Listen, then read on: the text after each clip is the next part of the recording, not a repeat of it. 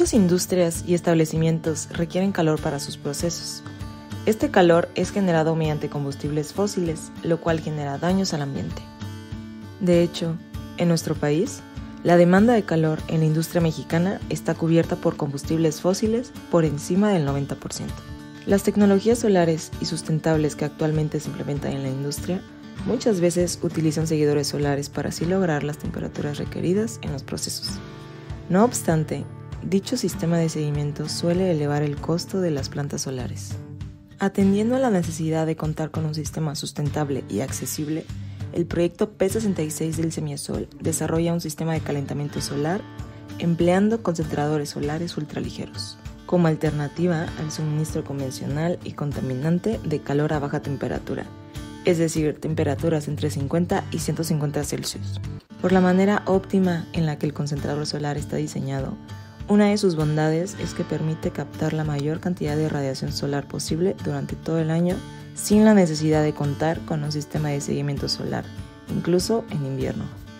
Ahora escuchemos al doctor Yuri Nahmat, líder del proyecto mencionar otras características y ventajas que ofrece este concentrador. Es un sistema rasante que no está sujeto a esfuerzos, esto le permite eh, a esfuerzos eólicos, esto le permite eh, ser elementos de techumbre.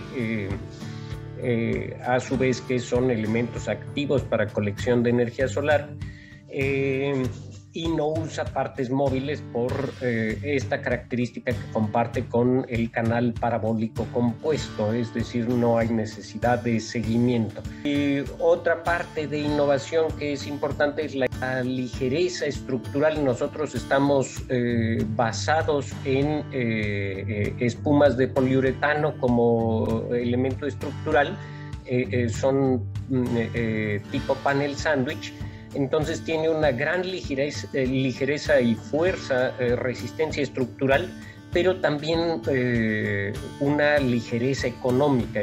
Debido a la innovación considerada en este dispositivo, este nuevo concentrador tiene la capacidad de adaptarse a diferentes sectores industriales.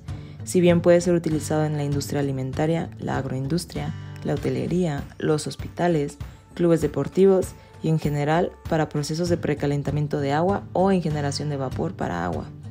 Inclusive se evalúa la posibilidad de utilizar esta tecnología en los hogares mexicanos dado que su diseño y construcción son ligeros y de costo accesible.